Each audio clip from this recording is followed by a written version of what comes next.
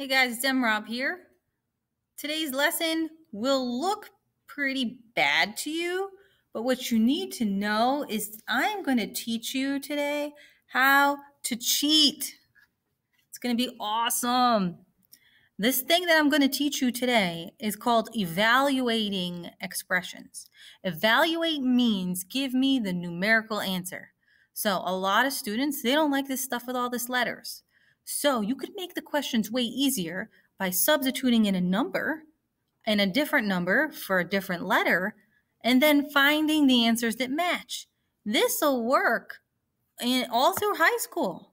If you have a multiple choice problem, you can take the problem, plug numbers in, take all the answers, plug numbers in, which ones match? Problem solved. You could completely not understand anything use your calculator and get the answer because you know your calculator is your bestie. And sometimes you should call your bestie up for some help. So today I'm going to do that. On the first page, there are a bunch of definitions that you should know. So I want you to go back and read them. An expression is what we have here. It's something that isn't equal to anything. So what we're going to do is simplify the expression. Simplify means summarize what we see. And there's a bunch of other words in there. You check them over. I, I define the words as I go. So here we go. I'm going to do these problems and you're going to do all of the rest of them. So in question five on the second page, it says 3a plus 6 plus 5a minus 2. Rule number one is to always change subtraction to adding the opposite. So I'm going to change that minus 2 into adding the opposite of a regular 2. That didn't work out so well. Um, I'm going to zoom in more. The more I zoom in, the neater it is. So, okay, the next thing we need to do is to be neat and organized. So I'm only going to add like terms. Now remember, a like term is something that has the same letter or variable with the same exponent up top. If it doesn't have a variable, what's it called? Do you remember? If something varies means changes. So the opposite of changing would be not changing. So the numbers there with no letters are called constants because a 6 is a 6 all day long. A 3a could be different depending on what the a is. So that's why we call those variables. So I'm going to circle this first one to be neat. And then I'm going to ask myself, self, are there any other like terms? Are there any other a's there? There is. There is a positive 5A. And I don't see any other A's. So when I have, uh, and I gotta tell you, to make life easy, instead of looking at these things as letters, looking at these things as things. So if I have three apples and I add five apples, you have eight apples. I'm just going to write a plus sign. I'm either going to add a positive or a negative. I can write plus either way. So the next thing, I don't feel like changing my colors, although sometimes it's super pretty and I really like it when students do that. This is not like the other terms, so I'm not going to make it a circle. I'm going to box it. That's a constant. It's a number, a regular number, six. That regular number gets added with the other regular number, which is also called a constant, of negative 2. So you can put in your calculator 6 plus negative 2, enter, or 6 minus 2, and you will get 4. And that is the Simplified answer, I cannot go further. I will not add 8 and 4 because the 8 is for apples and the 4 is not. So we are done. And um, I'm going to go back and check my work in a minute, but I want to do that in a different color. So right now I'm just going to simplify. I'm going to simplify one more problem. Rule number one is to change any subtraction to adding the opposite. I see two subtractions. The opposite of a positive 4 is a negative 4, and the opposite of a positive 3 is a negative 3. Now, I'm going to circle first because I like to. You could do box if you want. Are there any other C's? There is all C's. I got negative 4C, positive C here, negative 3C here. So um, all of them are C's. I'm going to do a simple way to write this. So we can put the coefficients in the calculator. You can't put the letter in the calculator, but you could put the coefficients in. So the coefficient on the first one is 5 and the second one's negative 4. What's the coefficient when you don't see anything? Which number has a superpower of invisibility? That would be 1. And the last coefficient is negative 3. So you can go ahead and put this in the calculator. Integers isn't all everyone's um, strong point. So let's just do that. 5 and a negative 4 and a 1 and a negative 3 into the calculator and you get what?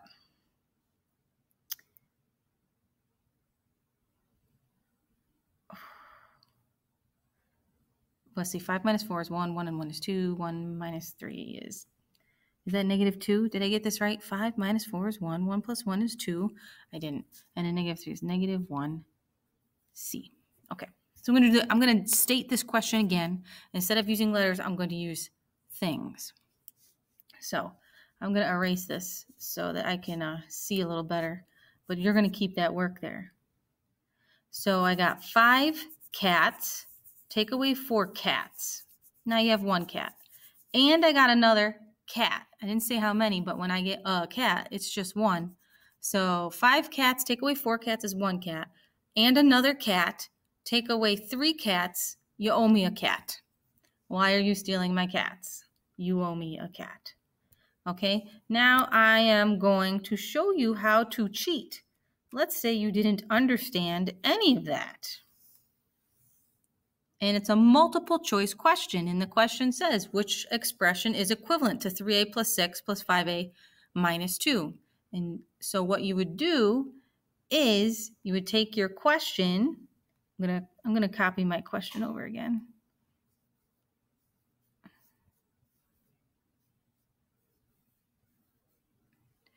I should have wrote the answer up top. I didn't. That's okay. It's a minus 2 minus 2. I'll zoom back in. So we're going to choose a number for A. Actually, I chose a number for you already. At the beginning, there were directions here. Let's say evaluate, plug numbers in and get a number to find something equal. And I gave you all these. I'm only, only going to use C equals negative 3. Oh, we're just going to use, oh, wait, there's different letters. Oh, I guess I got to use A as 2. Okay.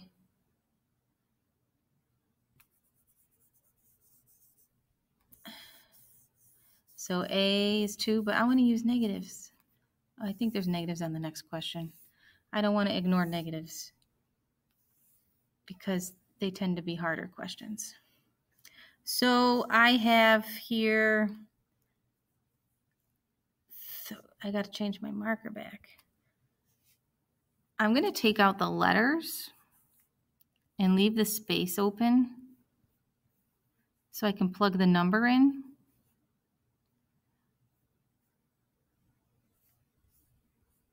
I might have to write smaller. You know what? Typing might even be better, actually. Okay all my missing spaces are A, and we said A was going to be 2, right?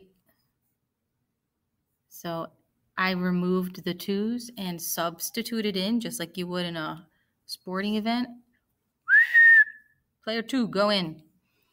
Okay, and now I uh, could do this PEMDAS myself, but remember, I'm going to call it my bestie. Hey, bestie, calculadora. 8 times 2 plus 4, what is it? 8 parentheses 2. I'm going to type in exactly how I see it. Plus 4. Well, that comes out 20. Then I'll put in my calculator 3 parentheses 2 plus 6 plus 5 parentheses 2. When you have parentheses next to a number, it means multiplication. But instead of using any thinking and doing any work ourselves, let's make the technology work for us. That's what it's for. You put that in and you get 20. So then you ask yourself, self, I got 20 for the question and, and then I look through the answers and I look for which answer gives me 20. And when they match, you're right. So this is like also doing a check. We're going to do lots of checks in our future. We checked our work, 20 is 20. We are good. And I love to write check marks because they make me feel accomplished. So I'm going to go over here and check my work. For this one, I'm just going to mm, move this up here. I'm going to write the negative 1c up here. And I am going erase, please. I'm going to write my work underneath. It's going to take me a while. So wherever I see a C, I'm going to pull it out and I'm going to substitute it with the number negative 3 because the directions at the top told me to use that. When you're doing this stuff on your own, you can use whatever number you want. I recommend that you do not use the number 0 or 1 whenever you do stuff on your own. It can throw your results off. Okay, so I've got 5 and I'm taking the C out and I'm putting in negative 3. I've got minus 4.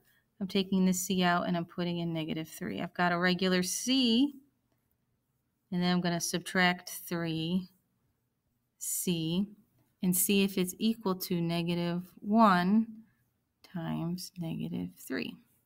All right, so this one's pretty quick. I'd put this in a calculator. Negative 1, parentheses, negative 3. Two negatives multiplied together make a positive you don't have to write positive if you don't want to. And then all of this, avoiding PEMDAS and having the calculator do it for you, needs to go into the calculator and it better come out positive 3 because if it doesn't, it means we did something wrong. So 5 parentheses, negative 3 parentheses, minus 4 parentheses, negative 3 parentheses, plus parentheses, negative 3 parentheses, minus, know the difference between a minus and a, and a negative. This one is a minus this one is a negative when I'm using the calculator. It matters. Minus three parentheses, and I better come out. I better come. Oh gosh, mine came out negative six. Did I do something wrong on my calculator, or did I do something wrong on my paper? I think I left off the four. Practice makes perfect. So I hope you're not just watching me do everything. There, I did it. I left off the four my first time. Three equals three. And if you ever catch me make a mistake, which I do, I think I made a mistake on the last video, uh, just send me an email. I'll give you a pat on the back. Put a little you caught my mistake thing in Schoology. What do they call them? Badges. You get a badge. I'm going to skip to number nine. It says uh, parentheses 5r with a parentheses negative 2, which implies in the middle times. You are doing times. And if I was going to read this like a word problem, I would say I have, uh, I'm going to take away two groups of five railroads, which would mean I'm going to take away 10 railroads. You can put that in the calculator, 5 times negative 2, and then copy the R yourself. And if this isn't right, well, we'll find out because I'm going to check it. And I'm going to check it by taking out the r and substituting it in with the number they gave me, which is negative 3. Substitution, use you got to use parentheses when you substitute. You got to, got to, got to. So I'm to put in the calculator negative 10 parentheses, negative 3, which really means times. And when I multiply two negatives, it makes a positive. Taking away negativity is positivity. So that's positive 30 and then this is a whole bunch of times. 5 times negative 3 is a negative 15, and negative 15 times a negative 2 is a positive 30, and that works out. Don't believe me? Check with your bestie. 30 equals 30. Check. Did it right. So if it's multiple choice and it says which expression is equivalent to 5r times negative 2, you will put in a number for r and get a number for an answer, which is 30. You'll put the same number in for all your choices until you find the answer that also equals 30. Capiche?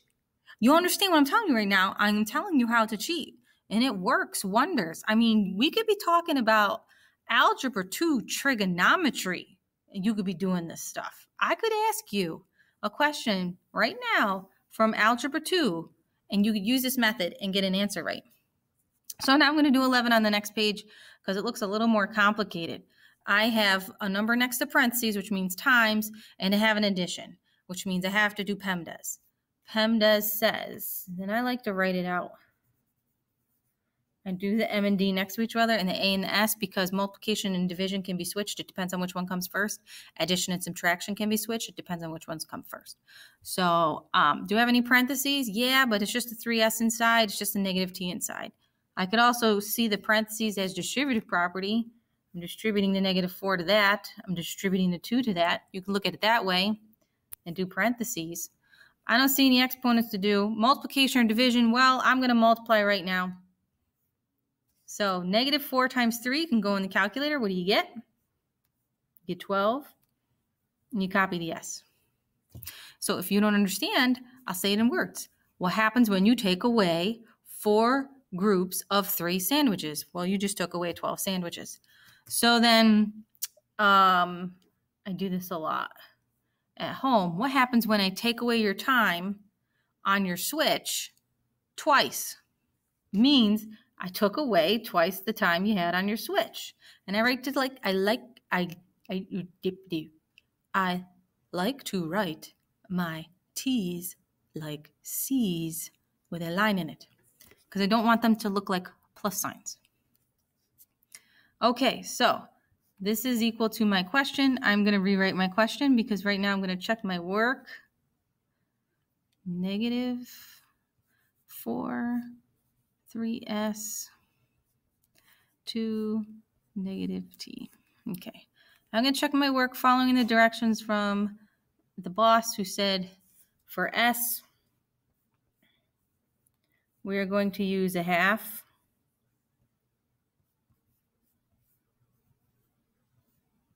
I use parentheses every single time I substitute.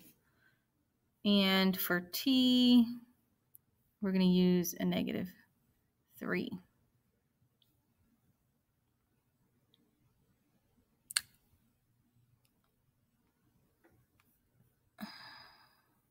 Okay, careful, careful. Check this out. Common area for mistake.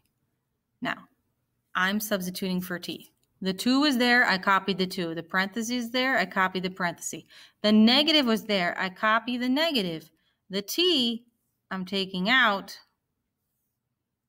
So what am I replacing the t with? A negative 3. The most common mistake is people think that the negative from what I'm substituting is already there, so I don't have to write it.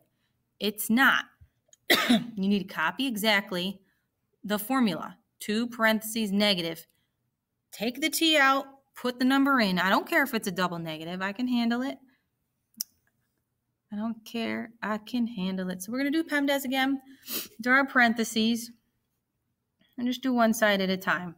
There's nothing to do in these parentheses. You could consider it distributive property. Um, there's no exponents, there is multiplication. Half of a negative 12 is a negative 6, so you don't have to know that. You need to know how to put it in the calculator. And this is a negative 2 times a negative 3, so that is a positive 6. And now addition is all I have left. These are um, opposites, so this is going to make 0. Okay, now let's check the other side. I have parentheses inside of parentheses, so remember you do the insides first. So I'm going to copy this negative 4 and half of 3 into the calculator. I'm going to copy this 2 and you could put this in the calculator, negative, parentheses, negative 3. Uh, negative means opposite. The opposite of a negative 3 is a positive 3. If you take away the negativity, you get positivity. So uh, negative 4 times 1 and a half. Negative 4, I could do this in my head, but right now I don't trust myself. So that would be a negative 6. And then I add a 6 over here, which eventually will cancel to make zero, which proves that my question and my answer evaluate to the same number. So I must have done it right. Check yourself before you wreck yourself. Plug the numbers in. Get our answer out. Evaluate. Okay? I'm not going to do the rest. You got to do the rest. So make sure you copy that down. And you call me over for help if you need it. Chances are you might need help on this. As ugly as it looks, it's a foolproof method for multiple choice problems, a lot of multiple choice problems. So that's why we're going to go over it, even if you don't like it. Okay, I will see you guys next time. Finish it up, submit it, talk to you soon.